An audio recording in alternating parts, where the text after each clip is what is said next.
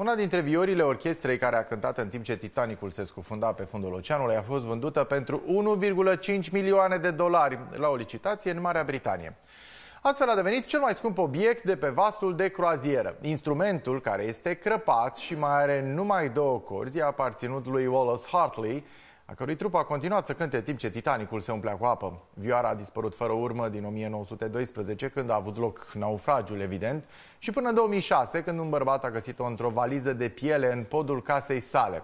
Câțiva experți au pus la îndoială autenticitatea instrumentului, însă o echipă formată din istorici cercetători și cel care a scris biografia lui Hartley a dovedit că vioara este autentică fără nicio urmă de îndoială după șapte ani de studiu.